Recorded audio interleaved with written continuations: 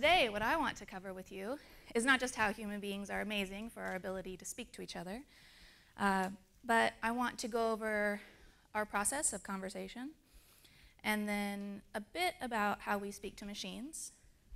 And I want to help you understand how to make the machines that have voice interfaces stronger and better for people to use. So the first thing that we have to talk about, if we talk about conversation, is about uh, the rules that we follow every day. And uh, the first of these rules is one that lets us live in cities. And it's one that um, we have to break in order to have a conversation.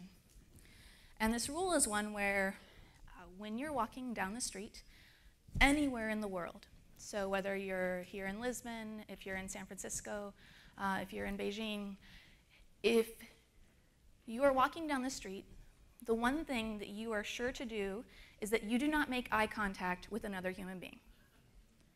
Uh, so as we walk, we notice that there's another person there and then quickly look away because uh, if we make eye contact with another person, that's a form of recognition and it invites conversation. And we don't actually want to have conversations with every single person we see on the street. And so uh, the first thing we need to do if we have a conversation is we need to look at another human being. So that's the first step. And that is called recognition.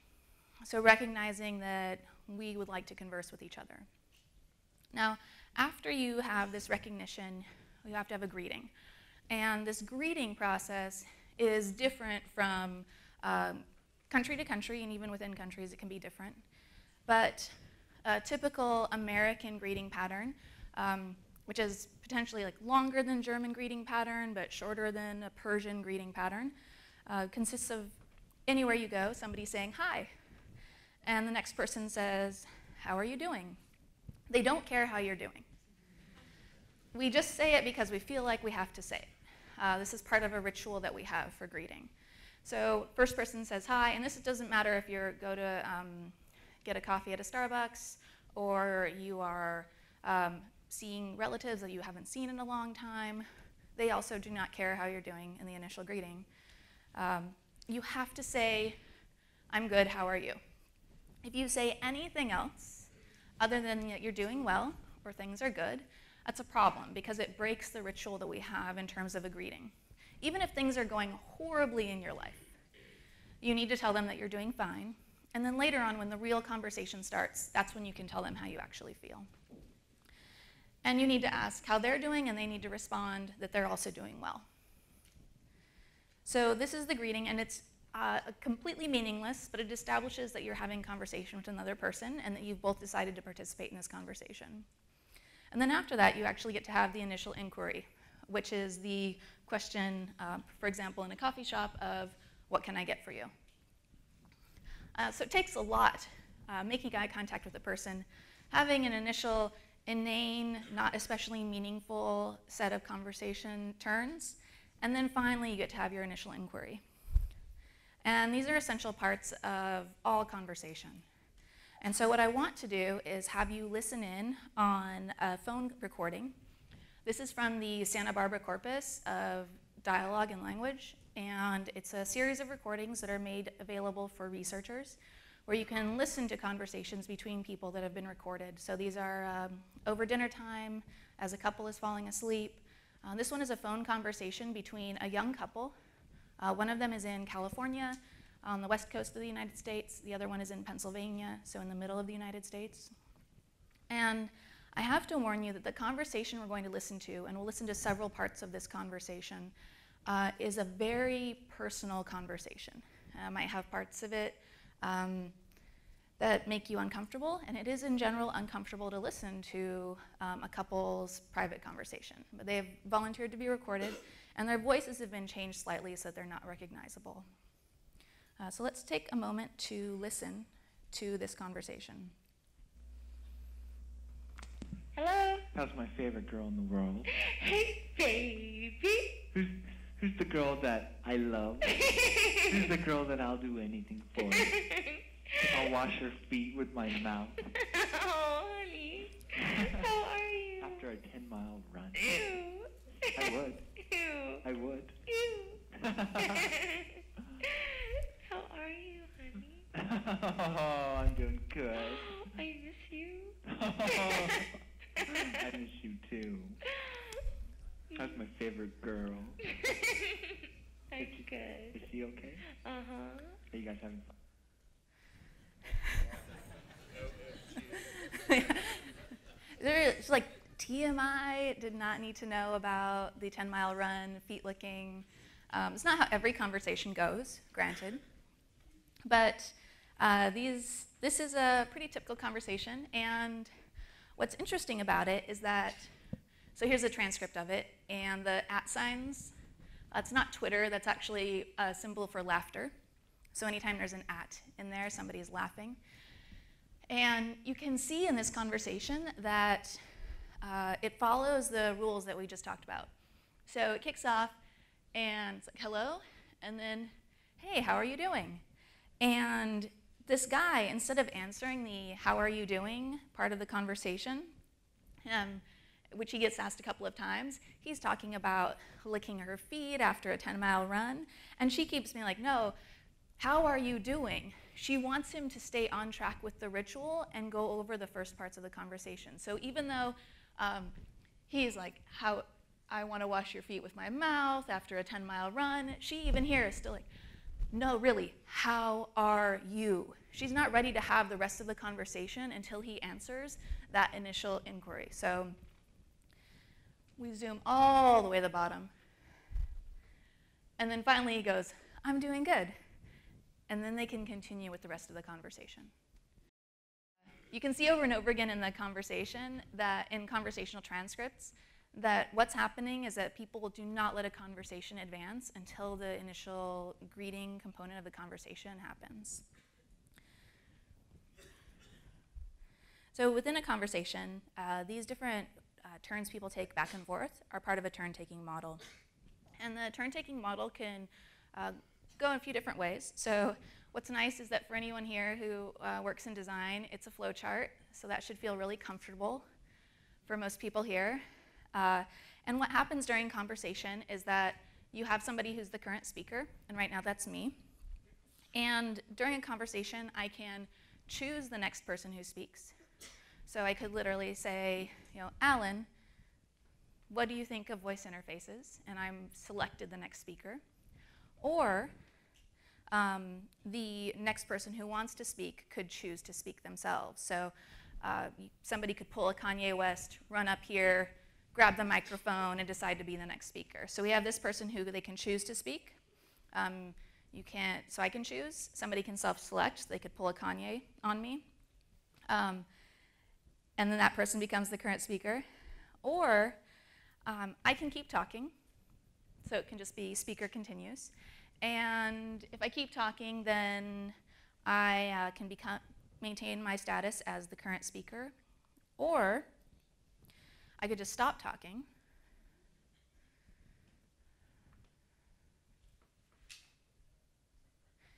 In that case, the conversation would end, and that would be really boring.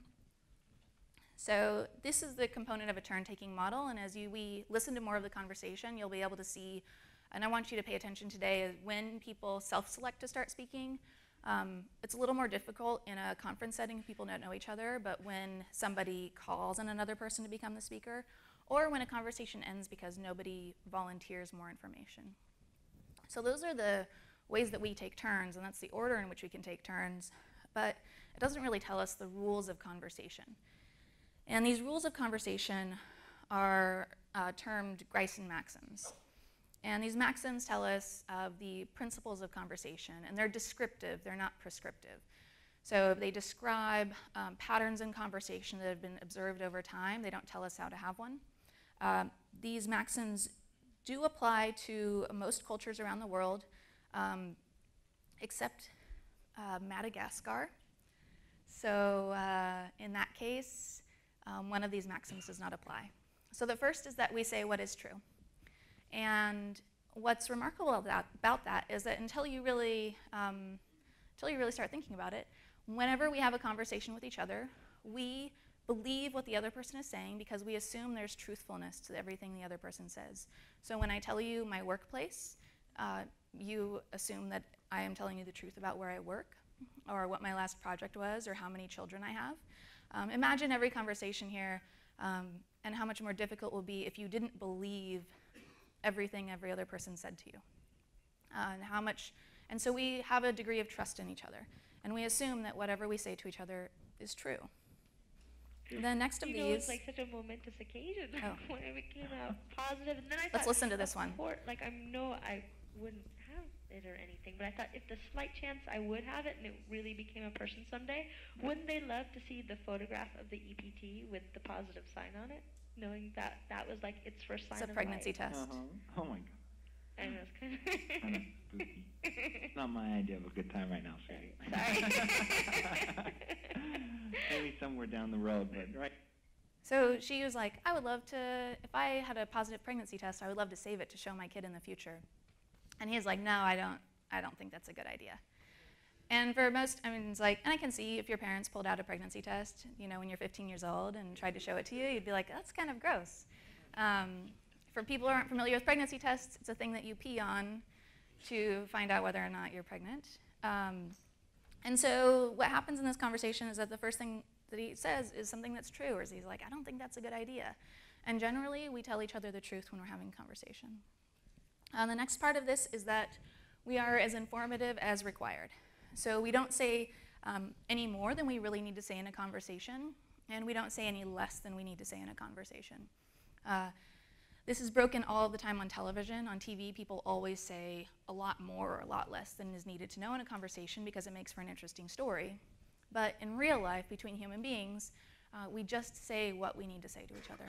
Uh, and so let's listen to an example of that where um, the issue of the pregnancy test didn't come up because it wasn't relevant to what was happening. Sign. Oh my god, honey, how come you've been keeping all this inside? I know. I didn't mean to keep it inside. I mean, I, I didn't. But you mean, love me. I didn't mean to not tell you at all. It was just we would hang up the phone. Then I thought, oh yeah, I forgot to mention that I'm kind of late because I didn't think it was a huge deal. But then, So people are like, what? It's a huge deal. So, so she has had multiple conversations with her boyfriend, and she's totally forgot to tell him about this pregnancy test and that she ha- um, was late um, because it wasn't really important to the conversation they were having. It wasn't necessary for her to tell him that at the time. Um, um, it wasn't relevant to what they were thinking about. Oh. anyhow, So how are you outside of that? good, good. We had such a nice day. It's really beautiful here. It's It is? Uh huh, like 70 degrees and sunny, and we walked around. We went to a park, and we just talked and talked and sat in the sun, and we had such a nice day. We went out for dinner with Joy. So out, at, after she's like, yeah, I didn't really tell you about that pregnancy test. It just didn't seem important at the time. Then finally goes, well, aside from this pregnancy test you never told me about, how's life? And at that point, they completely switch gears. They both agreed that the pregnancy test is no longer relevant to the conversation, and now they're talking about the weather. And it's something that human beings are really good at, is that we talk about what is relevant at the time in a conversation. And so it could be that we start talking about the weather, and as soon as somebody switches over to a new subject, so let's say we then start talking about um, the triathlon that's going on outside over the course of the weekend. Um, if somebody else starts talking about the weather again, and it's not in the context of the triathlon, it's incredibly confusing. So we try to stay relevant to what's happening. And the last is that to be um, perspicuous, and this means that we're following these cooperative principles of conversation as we speak with each other, and that we are um, doing everything we can to keep a conversation going, and really thinking about whether or not what we say uh, makes sense, is truthful, is just as much as we need to say in a conversation. And as people are talking to each other, um, what's happening is that uh, our thoughts, for example, me, um, the thoughts are very focused on coffee right now. And um, if I ask someone if they would like to get a cup of coffee, what happens is I send uh, signals from my brain down to my vocal cords. Uh, my vocal cords create a sound wave, and that sound wave is heard by your ear, and then uh, about 30,000 um, 30,000 nerve endings send that information up to your brain. And if I do a good enough job of describing getting a cup of coffee, so um, hey, let's walk down to uh, the coffee shop and get a cup of coffee, then what I can do is create a picture of that same thing inside of your brain. And that's what we're doing over and over again when we speak to each other, especially when we use action oriented words, is that we're creating pictures in each other's brains. But this doesn't tell us anything about what a machine sees. So um, if I say, Would you like to get a cup of coffee? it looks like this. Uh, this is my own uh, waveform for Would you like to get a cup of coffee? And you can tell I'm from um, the United States because would and you are combined into a single word, which is would you. And then the rest of it is the would you like to get a cup of coffee here. Uh, this is not actually what a computer is making sense of. So what it does is it actually takes this waveform and turns it into a spectrogram, which has three dimensions instead of just two for understanding information. So this is the exact same phrase, but in a spectrogram. The, color, the parts that are bright yellow, that's intensity of speech. And if you look at enough spectrograms over time, or you take a course on them, you can actually learn how to read spectrograms to understand what people have said just from looking at a spectrogram. So a natural language system takes this spectrogram, and we start with a human being, and they say something, and the end of this is called the endpoint. And I have to tell you that when it comes to uh, endpoints, come on, computer. So when it comes to endpoint, What's happening all of the time is that any machine that's a voice UI is really just waiting for you to stop talking. It has to wait until you're done talking so it can figure out what you said and make sense of it. And so that means that um, if you go and look for uh, scholarly papers on voice interfaces, there are a lot of great ones from researchers at Amazon, at Microsoft, at IBM, at Google, and also at SoundHound about how they're trying to reduce the amount of time it takes to understand the end of a set of speech and then to start processing that language. Um, I have to say that as a person who lives on the west coast of the US, my pauses between parts of speech are really long. Uh, Deborah Tannen, who's an esteemed uh, linguist, she, she found that when she had a bunch of friends over when she was in grad school, and uh, she had friends from the east coast of the US and friends from the west coast, that at the end of the dinner time, people who were from the west coast felt like they did, didn't really have a great time because they could never get a word in edgewise.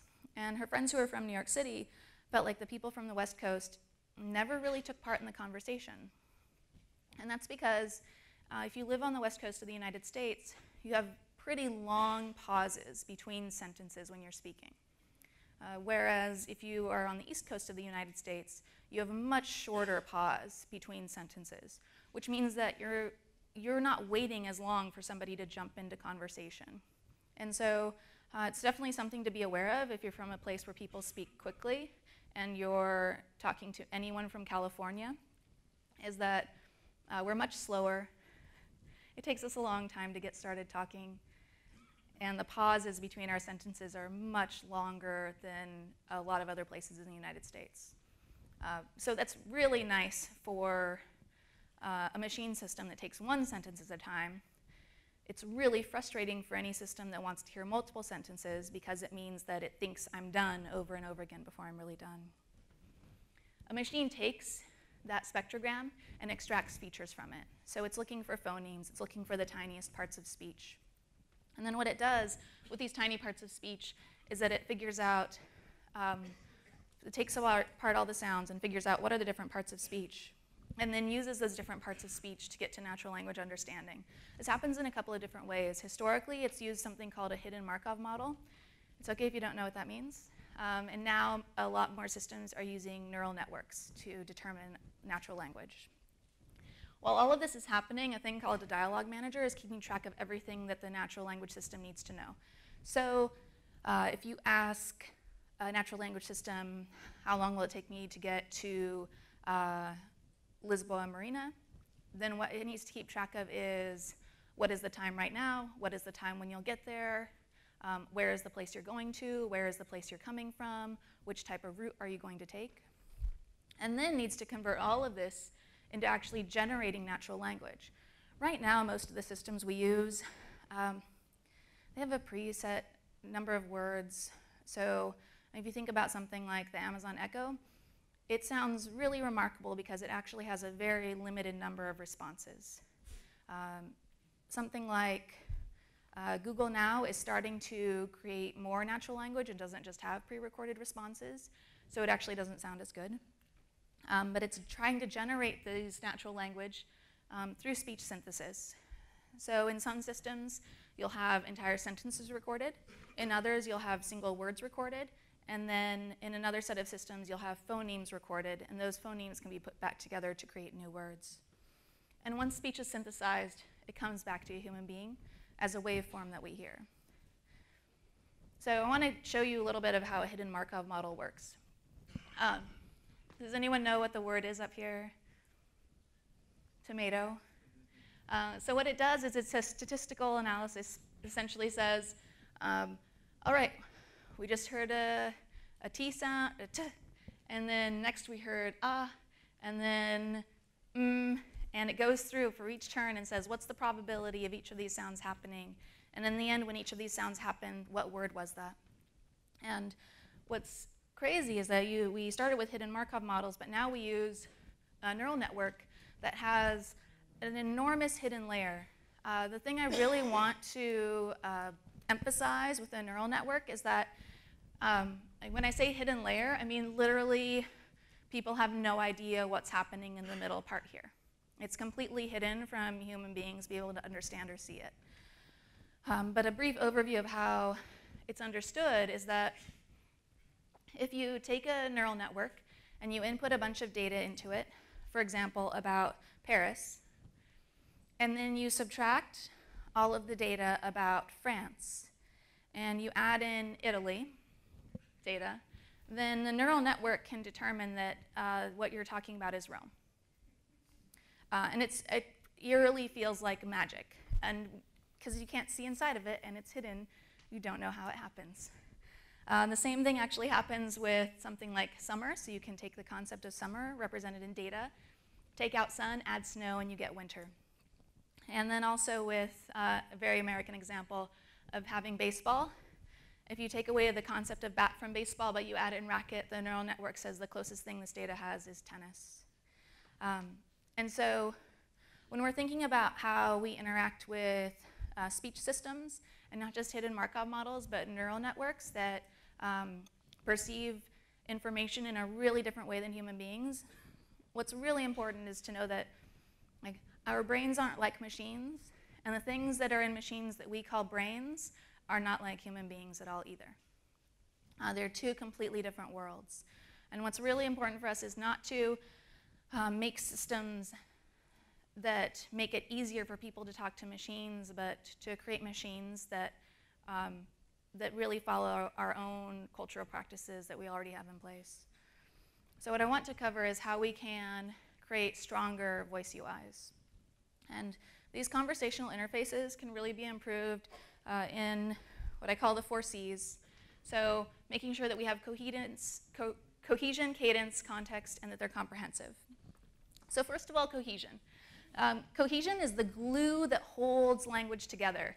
So when I said something like, so, that's a discourse marker. And those discourse markers are what makes a conversation make sense. I want to show you a sentence. Um, my kid only eats rice. He can't survive on that. Uh, who is the he here? It's my kid. Um, what is that? Rice.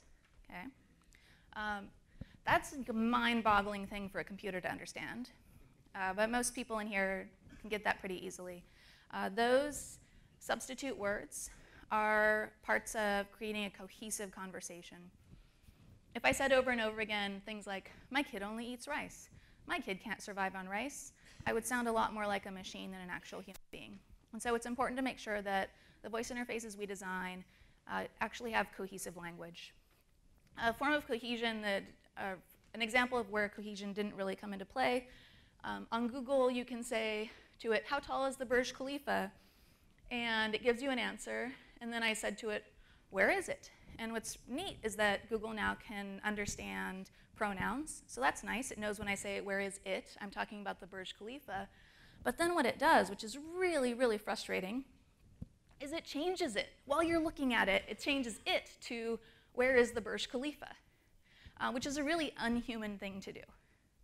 Uh, the, it's for clarification, but it also says Burj Khalifa a couple other places on the screen. And so it's not really necessary to do this, and it actually breaks the cohesion of the conversation I'm having with that interface. The next is cadence. And this is where it's really important to have a voice interface that has uh, an in incredible amount of intelligence and a lot of recordings behind it. And cadence is rhythm and stress and intonation. So, with something like, do you prefer New York or LA? What's happening when I say that is when I say New York, my voice goes up. And when I say LA, my voice goes down. Uh, what's interesting is that once you get to three parts, it's New York, LA, or Seattle. And so if you're recording for a voice interface, that means that for every single word, you have to have it in different intonations and different pitches on the way up and on the way down to make sense. And technology is getting better in terms of being able to uh, synthesize different pitches and different emotions, um, but it's something that's really essential. Uh, and anytime you want to have a, find out whether or not a voice UI is really great, ask it for something that could be in a list or a long sentence, and you'll see that um, the stresses and intonations just aren't quite right. The second to last one, and second to last is a form of cohesion, if you're keeping track, is context. So if I ask you uh, the weather tomorrow, where do I want to know the weather for? Right here, where I am. Where are we right now? In Lisbon. I didn't have to say, hey, do you know the weather for Lisbon tomorrow? And you'd probably look at me a little strangely if I asked you what the weather was for Lisbon, um, because we're here right now and we both implicitly understand context. On a device, we have to set context. So here's a setup screen for Amazon Echo, and you can see that I have a lot of Amazon Echoes, and um, that mine is in Santa Cruz, California, in the United States. Um, if, if you have an opportunity to get information in advance from your customer, then that's really helpful. So during the setup process, the Echo asks you to tell it where you are, and it's really nice because at that point, um, it can give me weather without me having to say, what is the weather for Santa Cruz, California? Um, and it's important as you add new features to a system to prompt your user to add additional information like what is their work location so you can give them commute times as well. The last thing that voice interfaces aren't really doing, um, and it's the most difficult of all of these, is to create something that's comprehensive. Uh, this is a small portion of the questions you can ask in Amazon Echo. And Google has its own um, all of the different actions that you can take on a, a Google product. And as long as we need lists like this, then people aren't going to use voice interfaces. Because if we think about conversation with another human being, uh, it doesn't have a failure mode where it asks us to um, install a new application or um, tells us that we can't do something. Anytime we converse with a human being and we have a mismatch in understanding or a person doesn't get what we're talking about, we can ask for clarification and we can learn from each other. But voice systems aren't universal and they're not comprehensive. And so uh, until they reach uh, a level of comprehension, they'll always be thought of as expert systems that can just do one thing.